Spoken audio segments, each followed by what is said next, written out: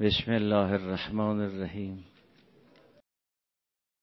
یه بیان نورانی از وجود مبارک پیغمبر علیه و علی آله آلاف و تحت رسید این به عنوان تمثیل است نه به عنوان تعیین. اون بیان را وجود مبارک هست امیر سلام الله در نهج البلاغه نقل کرد.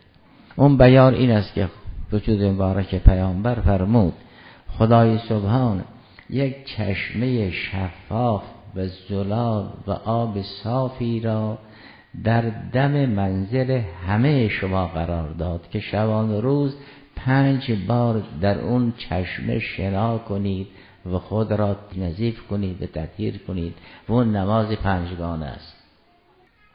آیا این تمثیل است یا تعیین؟ یعنی در بین عبادات فقط نماز این خصوصیت را دارد؟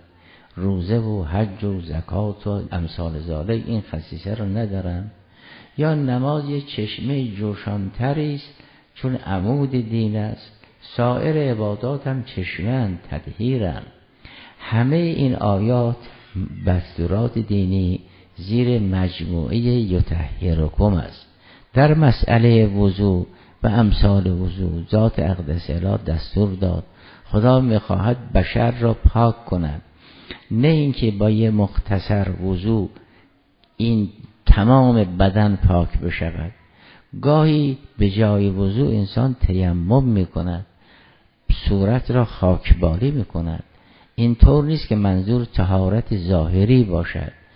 ما را از اون غرور و خودخواهی که قده علاج ناپذیر است درمان می کند اگر کسی وضوع گرفتن برای او مشکل باشد خب تیمم می کند خاکم انسان را پاک می کند معلوم می شود به اینکه اون چرا که ما باید از او پرهیز کنیم فرمود بر رجزه فهجر از پلیدی به پرهیز این هجرت تا آخر قیامت هست. ممکن است در یه اصلی ما جهاد نداشته باشیم جهاد بیرونی نداشته باشیم. اما جهاد درونی تا قیامت هست. هجرت هم تا قیامت است. بود از هر پلیدی مهاجرت کن. خب ما انسان دلمون می‌خواد پاک باشیم و در وسوسه ها پیروز باشیم. این اوائل ممکنه مقداری سخت باشد.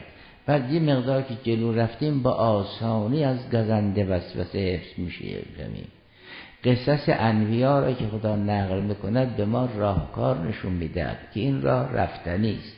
منتها اونا جلوتر شما دنبال گاه انسان به جای می‌رسد که کار برای او آسان می شود گاهی از این فراتر قدم برمیدارد به آسانی کار از او صادر می شود خیلی فرق است بین دعای کلیم حق و دعای حبیب حق علیه السلام.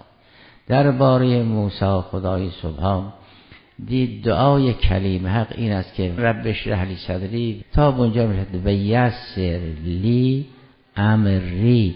یعنی کار مرا برای من آسان کن. این خواسته کلیم حق. اما درباره حبیب حق فرمود بینه که ونیسر و کل الیسرا.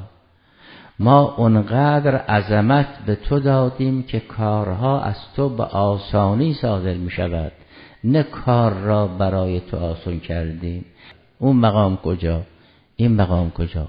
ولی راه بازه بالاخره. اگر یه مقدار ما راه را برویم کم کم برای ما آسان می شود باور کنیم که گناه بدبوست اگر یه مقدار انسان جلو برود شامش باز می شود بوی بد گناه را استشمام می کند حضرت فرمود به این که استعدترو بالاستغفار. لا تفزهن نکم روائه الذنوب. فرمود با استغفار خود را معطر کنید گناه بدبوست. یه وقتی می‌بینید گناه نه تنها آبروی خود آدم میره آبروی بچه های میره.